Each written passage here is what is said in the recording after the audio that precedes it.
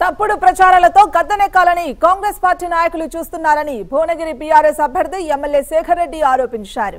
యాదాద్రి జిల్లా భువనగిరి నియోజకవర్గంలో ఆయన ఎన్నికల ప్రచారాన్ని నిర్వహించారు. మండలంలోని ప్రతి గ్రామాన్ని అభివృద్ధి చేసినట్లు తెలిపారు. ప్రతి కుటుంబానికి సంక్షేమ పథకాలు అందుతున్నాయని దళిత బంధు పథకం ద్వారా ప్రతి దళితుడికి లబ్ధి చేకూరే విధంగా చేయడం జరుగుతుందని అన్నారు. తప్పుడు ప్రచారాన్ని అరికట్టాలని త్వరలో ప్రతి దళితునికి దళిత బంధు అందే విధంగా చర్యలు తీసుకోవడం జరుగుతుందని అన్నారు. ఏ గ్రామం బాగుండాలంటే కూడా రైతు బాగుంటే ఆ గ్రామంలో ఉన్న అన్ని కులాలు అన్ని మతాలు బాగుంటాయి. ఎందుకంటే రైతు దగ్గర కూలికో పనికో అన్నానికో ఉండదు. వడ్లు వస్తే అన్నం దొరుకుతుంది కాబట్టి రైతు బాగుంటే గ్రామాలు బాగుంటాయని మన ముఖ్యమంత్రి ఆశం. అర్ధ ఎకరమో ఎకరమో రెండు ఎకరం మూడు ఎకరం అందరికీ ఉంటుంది.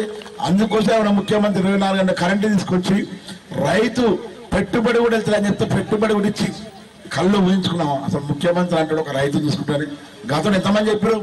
రైతే రాజు రైతే వెన్నుముక రైతు రాజు చేస్తాను ఎరడి చేసారు కానీ ముఖ్యమంత్రి కేసీఆర్ రైతుని చూసుకున్నాడు. రైతులు పెట్టుబడి ఇచ్చిండు. పెట్టుబడి ఇచ్చి ఒడ్లు కూడా దళారి పాలు కావద్దని చెప్పి మళ్ళా కళ్ళలకు లారీ వచ్చి ఒడ్లు కొనుక్కొని పోయి అకౌంట్లో పైసలు వేసారు. ఎవడన్నా కళ్ళు ఉంచుకున్నాం మనం. ఇంత గొప్ప పరిపాలిస్తాను అందరినీ అన్ని కులాలు చేసిన నాయకుడు ముఖ్యమంత్రి కేసీఆర్. ఇటు ముద్రాజుని గౌడచోడిని గొల్లకుమ్మని నిన్న మొన్న మంగళని చాకలోని కురుమని అందరు బాగుంటేనే మన దగ్గర అన్ని కులాలు చేసుకున్నాం. మొన్ననే మన దళిత బంధు కూడా అందరికీ ఇచ్చే కార్యక్రమం మనం చేసుకున్నాం. నూట పది కోట్ల రూపాయలు శాంక్షన్ అని మళ్ళీ ప్రభుత్వం రాగానే మళ్ళీ నూట పది రెండు కోట్లు తెచ్చుకుని దళిత బంధు అందరికి ఇస్తాం.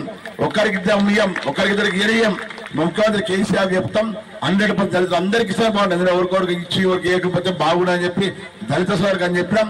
ఈ రోజు ఇప్పుడంతా అన్న మన హరీష్ రావు చెప్పిన అందరినీ మీరంతా కూడా గతంలో పేదవారికి ప్రభుత్వ పట్టాలున్నాయి ఆ పట్టాలన్నీ కూడా మీ అందరికీ అమ్ముకునే విధంగా మీకు మీకే సర్వ హక్కులు కల్పించే విధంగా కూడా అన్ని కార్యక్రమాలు చేస్తాం.